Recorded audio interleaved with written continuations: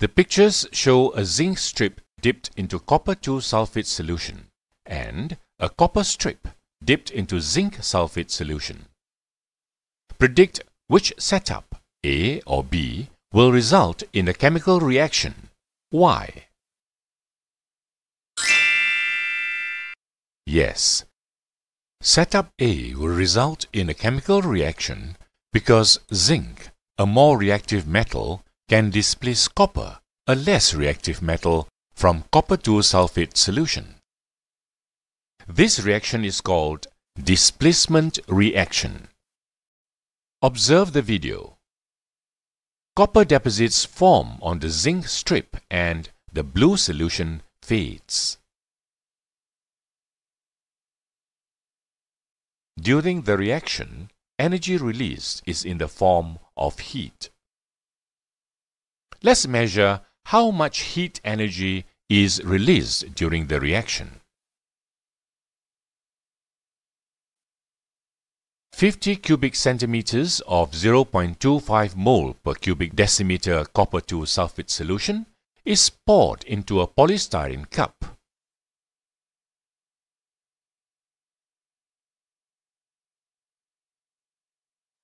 The initial temperature of the solution is measured with a thermometer. Record the reading in the table provided. Excess zinc powder is poured into the copper 2 sulfate solution. Stir the mixture and record the highest temperature of the mixture in the table provided. What is the difference in temperature during the reaction? Key in your answer in the table. Now, with the data we have, we can calculate the heat released from the reaction. How do we do this? Key in the data in the blanks and find out the heat released during the reaction. Yes, the heat released during the displacement reaction is 2.73 kilojoules. What would be the amount of energy released when one mole of copper is displaced from its solution? Let us calculate together. First, Calculate the number of moles of reactants used in the reaction to find out the number of moles of copper displaced. Click Hint if you need some help.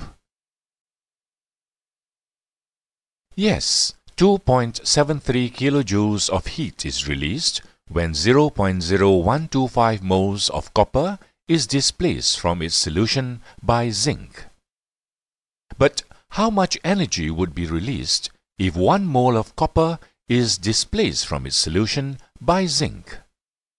Key in the data in the empty boxes to calculate your answer. Yes, the energy released when one mole of copper is displaced from its solution by zinc is 218.4 kilojoules. The energy released when one mole of substance is displaced is called the heat of displacement. Thus, we can say that the heat of displacement of copper from its solution by zinc is negative 218.4 kilojoules per mole. The negative sign in front of the value indicates that heat is released. We can write the thermochemical equation for the displacement of copper from its solution by zinc like this.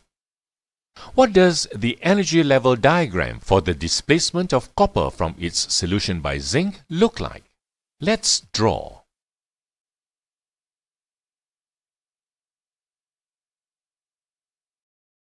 Study the flowchart. Use this to guide you in solving the problem involving heat of displacement. 3.25 grams of zinc powder is added to the 25 cubic centimeters of 2 mole per decimeter copper 2 sulfate solution during the reaction. The temperature of the mixture increased by 9 degrees Celsius. Answer the following questions. Key in your answer in the boxes provided.